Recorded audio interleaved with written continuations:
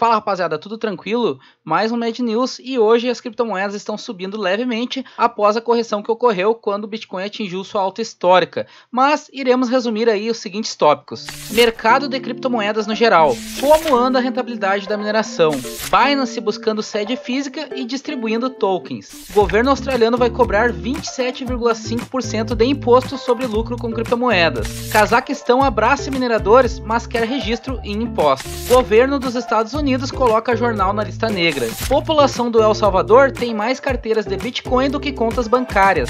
Criptomoedas deve ser tema estudado no colégio, segundo o prefeito de Nova York.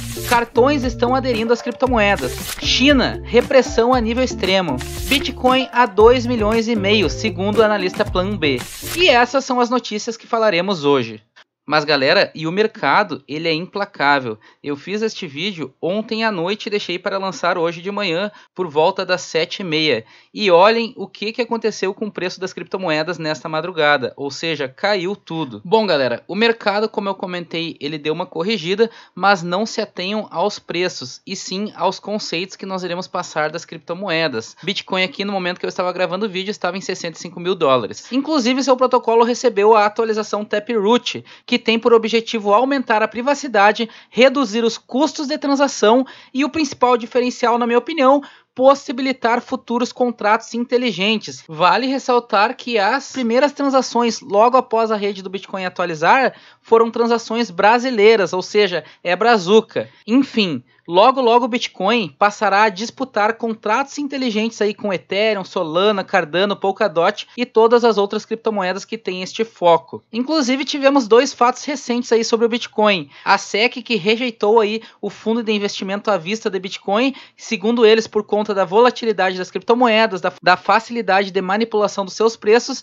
e de possíveis fraudes. E também tivemos a Bitmain que lançou uma mineradora de Bitcoin mais potente, a S19XP, com um poder de processamento que chega a 140 terahashes. Então, tudo isso aí indica que a mineração do Bitcoin continuará por muitos anos ainda. Continuando aqui, Ethereum na casa dos 4.700 dólares. Ao meu ver, a mineração do Ethereum ainda está muito vantajosa. Falando em mineração, seus desenvolvedores vão lançar uma atualização chamada Aeron Glacier agora em dezembro, para adiar a bomba de dificuldade da rede dela até junho de 2022. Caso essa bomba não fosse desarmada, poderia acontecer da mineração do Ethereum se tornar inviável com o tempo. E não tem como não ressaltar, né, pessoal? A taxa para transitar aí na rede do Ethereum estão absurdamente altas. Uma simples transação hoje estaria custando ao menos pelo Etherscan 101 Gwei 11,23 dólares, ou seja, 62 reais. E essa taxa está oscilando muito. Hoje mesmo eu vi ela quase 300 Gwei. Então não é à toa que BNB, Solana, Cardano, Polkadot e todas as outras moedas que operam com contratos inteligentes se criaram bastante aí perante a rede do Ethereum, porque eles focaram basicamente no calcanhar daqueles do ETH, as taxas da rede. E enquanto o Ethereum não reduzir as taxas da rede, possivelmente moedas que tenham propósitos parecidos vão continuar alavancando. Agora, depois dessa atualização na rede do Bitcoin, né, a Taproot, não sabemos como as moedas que operam com contratos inteligentes vão reagir ao longo prazo. Continuando aqui, nós temos a BNB, 643 dólares, excepcional o seu valor,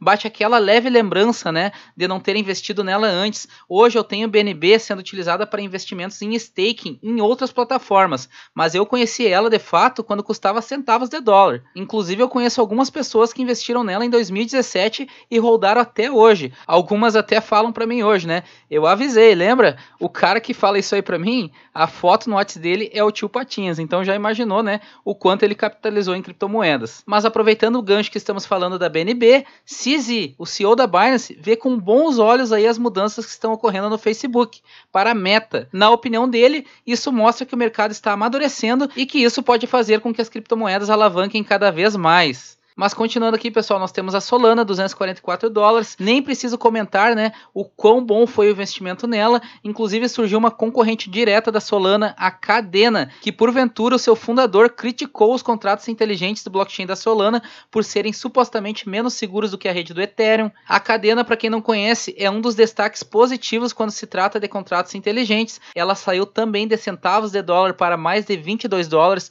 agora em 2021. E o legal dela é que ela trabalha um consenso de distribuição de prova de trabalho. Contudo, por mais que consigamos minerar ela com placa de vídeo, inclusive com processador, não é vantajoso, porque na rede dela já temos anti-miners que são aquelas máquinas específicas para mineração. Um camarada aí nos comentários do YouTube até pediu para eu fazer um vídeo sobre a mineração dela, mas eu testei e olhem na tela. 5 RX 480 de 8 GB estavam fazendo em média de 11.3 GHz por segundo, utilizando o minerador SRB Miner. E notem que as placas esquentaram, que é uma beleza, né? Então é um algoritmo que puxa bastante aí as placas de vídeo.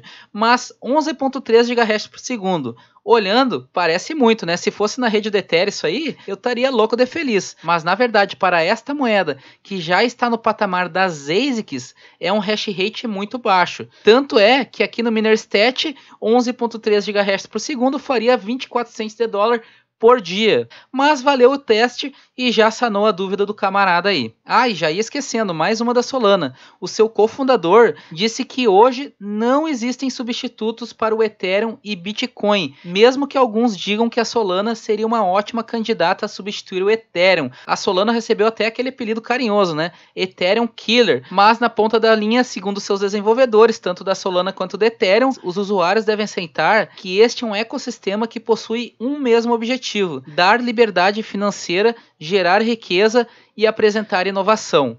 Continuando aqui, nós temos a Tether, que o governo dos Estados Unidos aí está em cima. Na verdade, todas as stablecoins aí lastreadas no dólar, Buzz, USDC e diversas outras, os americanos estão alvejando. Basicamente, eles querem que essas moedas sigam as mesmas regulamentações aí de bancos. Temos a Cardano, Polkadot, que também operam aí com contratos inteligentes. A XRP, a Ripple, eu nunca gostei. É uma das moedas mais parecidas aí que nós temos com um banco, né? Perdeu bastante seu espaço no mercado, por mais que esteja ainda no top 10 a Dogecoin que voltou a passar inclusive a Shiba Inu aí em capitalização de mercado. O Elon Musk inclusive fez um Twitter lá falando que ele é mais Dogecoin do que Shiba Inu. Ele falou que a Shiba Inu por estar operando na rede do Ethereum, ela possui taxas bem mais altas aí que a Dogecoin. Falando em Dogecoin, vale ressaltar aí que ocorreu um bug de duplicação na exchange da Binance, onde muitos usuários receberam mais Dogecoin do que deveriam, mas infelizmente as contas que apresentaram este erro hoje estão bloqueadas ou estão devendo para a Binance, porque já sacaram as Doges que estavam na exchange. Então é bem complicado, né? Temos aqui, ó, Terra Luna, Avax, Litecoin. A Litecoin é a prata do Bitcoin, né? Talvez até agora esteja se tornando bronze, porque ela perdeu muito a posição de mercado. E uma curiosidade é que agora na Binance nós temos a pool da Litecoin. Então quem tem anti-miners L3 ou qualquer outra que seja que minere o algoritmo script, saibam que a Binance agora tem pool de Litecoin. Bom, Falamos aqui das top 10, né? Mas temos várias moedas aí com bons projetos. Vale estudar, fazer uma gestão de risco e investir se achar adequado. Mas, mesmo com esta queda recente do mercado, a rentabilidade na mineração, na minha opinião, ainda está ótima. Mesmo com a dificuldade exorbitante na rede do Ethereum, a rentabilidade meio que se manteve, né? E se a atualização Aaron Glacier mês que vem ocorrer tudo bem, tudo indica que continuaremos minerando Ethereum por mais alguns meses, quiçá até um ano, se os desenvolvedores da rede do Ethereum resolverem prorrogar aí o ETH 2.0. Aqui no Atomine, eu notei que tem algumas moedas em algumas placas de vídeo que estão rendendo mais do que o Ethereum hoje. Por exemplo, uma 3070 LHR, temos a Equilibria e a Flux, rendendo levemente mais do que o Ethereum. Normalmente isso aí acontece bastante nas placas da Nvidia, né, pessoal? Por vezes temos algumas moedinhas aí se sobressaindo sobre o Ethereum. Contudo, a mineração do Ethereum ainda perpetua, então vamos minerar ela até o fim. E as exchanges já começaram a se mobilizar para ter sede física. Uma delas é a Binance, que já anunciou estar cogitando a possibilidade de criar uma sede física na França para atender aos órgãos fiscalizadores, ou seja, a Binance quer estar 100% com o governo. Mas a ideia da Binance, segundo o CISI, é ela ter três níveis de sedes local, regional e global. A França é uma candidata a uma sede global ou regional, dependendo aí de como desenrolar lá a questão da legislação. Ele frisou também que cada país tem uma regulamentação própria, então eles terão que se adequar e isso aí pode acabar levando muito tempo. Galera, e a Binance anunciou taxa zero para saque no Brasil, Contudo, é apenas para quem tem conta no banco Capitual. Se o seu banco for qualquer outro, você vai pagar uma taxa de saque R$ 2,60. Ainda na Binance, ela anunciou que vai distribuir 4 milhões de fan tokens do clube português Porto para os usuários de sua plataforma em comemoração ao 23º lançamento do seu Binance Launchpad. Ou seja, essa plataforma aí, Binance Launchpad, é onde a Binance lança os tokens que ela está apoiando. Mas infelizmente já acabou este investimento. Quem investiu, investiu e quem não investiu vai ter que esperar o token né, realmente ser lançado para comprar. Mudando um pouco a vibe das notícias, o governo da Áustria já bateu o martelo e vai cobrar imposto de 27,5% sobre ganhos com criptomoedas a partir de março de 2022. Eles equipararam basicamente o investimento com criptomoedas com os ativos tradicionais aí do mercado financeiro, mas 27,5% é bem salgado. Então, se você investir mil dólares e a moeda valorizar e for retirar 2 mil dólares, você pagará um imposto de 27,5% sobre o lucro, ou seja, sobre mil dólares. Então você pagaria 275 dólares. Cruel, viu? Mas o mais cruel é que o risco não é dividido, ele é apenas seu. Assim como você pode investir e valorizar muito, você pode investir e não valorizar nada e você perder aí o seu capital. Pessoal, e o Cazaquistão se tornou o segundo país mais popular para os mineradores de Bitcoin do mundo, segundo aí os dados da CCAF, Centro Alternativo de Finanças de Cambridge. Com isso, houve um aumento significativo do consumo de energia em seu país, e o governo entrou naquele dilema problema. Ou proíbo mineração, ou eu começo a criar regras. E a rota traçada foi em prol dos mineradores, ou seja, manter a mineração. Contudo, para que isso seja possível, o governo do Cazaquistão quer que todos os mineradores de Bitcoin em seu país sejam registrados e paguem os impostos. E segundo eles, a decisão de não proibir a mineração foi por conta dos mineradores antigos que já existiam lá no Cazaquistão, que são legalizados, pagam impostos e ainda geram empregos para o país. E é aquela coisa: se a energia lá for em conta, como estão comentando, e de fato os impostos forem acessíveis, muito provável que teremos mais registros do que ejeções. E esta notícia aqui me chamou bastante atenção. O governo dos Estados Unidos proibiu o jornal chamado Front de receber pagamentos, doações e transitar criptomoedas por estar supostamente espalhando fake news. Mas o que me chamou atenção, na verdade, não foi este fato, e sim a quantidade de endereços que temos na lista negra dos Estados Unidos. Hoje são 40 endereços de Bitcoin, 13 endereços de Ethereum, três endereços de Bitcoin Cash, dois endereços de Litecoin e dois endereços de Monero. E segundo os Estados Unidos, estes endereços são de terroristas, criminosos, beneficiários de regimes autoritários não apoiados pelos Estados Unidos e agora este jornal aí que está espalhando fake news. Mas a ideia deste jornal estar incluso nesta lista negra é que supostamente a Rússia estaria por trás deste jornal, desinformando a população, inclusive alegando fraudes de eleições e conteúdos que foram classificados como prejudiciais aos Estados Unidos. Galera, mas aí vem a pergunta: é possível bloquear transações nessas carteiras que estão na lista negra?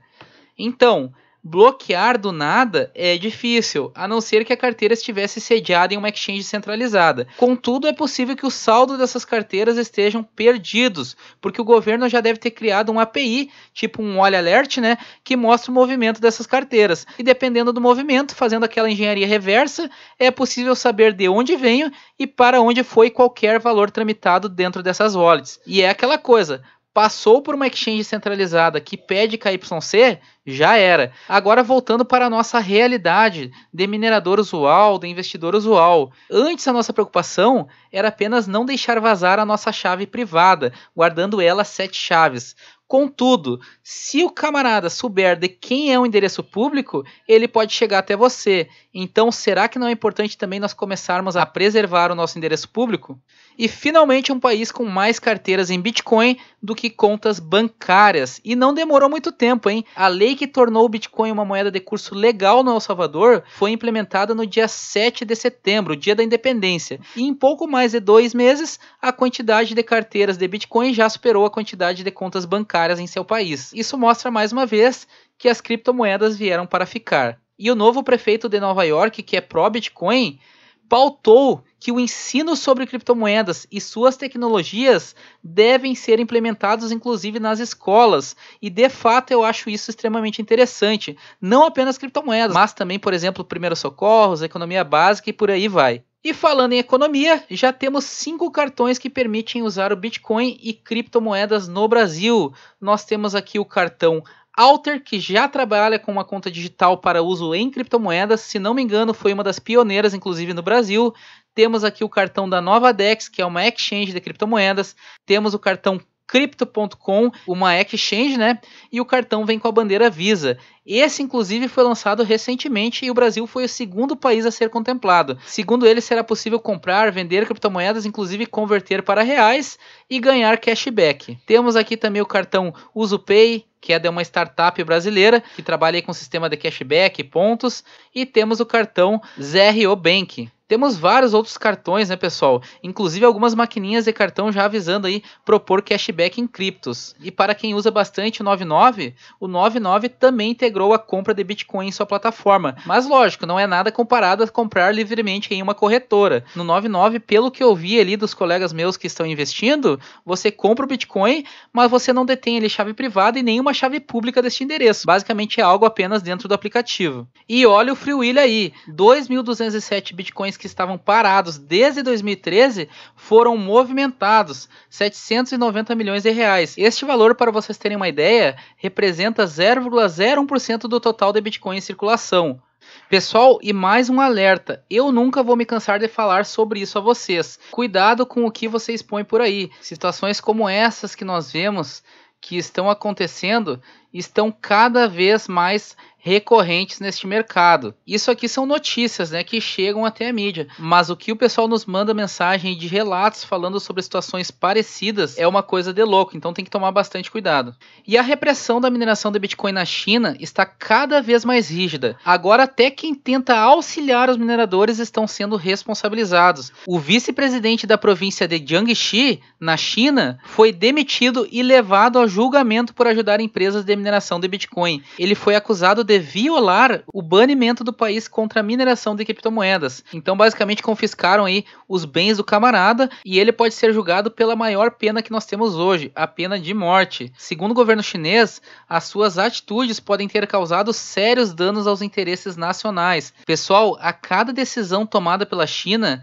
mas eu tenho certeza que a melhor coisa que ela fez foi proibir as criptomoedas no geral. Assim não ficamos mais à mercê de suas decisões. Infelizmente, o formato que o governo chinês trabalha não é interessante para as criptomoedas. Inclusive, esperamos aqui que esse camarada consiga sanar essa situação. E vamos falar de coisa boa, né? Vamos falar de análises otimistas. Bitcoin a 2 milhões e meio já em 2022, segundo o analista Plan B. O que vocês acham? Alta histórica ou inverno cripto? E não se enganem, ainda há quem diga que as criptomoedas são a maior bolha de todos os tempos. Concluindo então, pessoal, as notícias de hoje foram essas e vamos seguir o jogo. Bora minerar até o fim e investir até o fim. Desejo sucesso a todos vocês e tamo junto.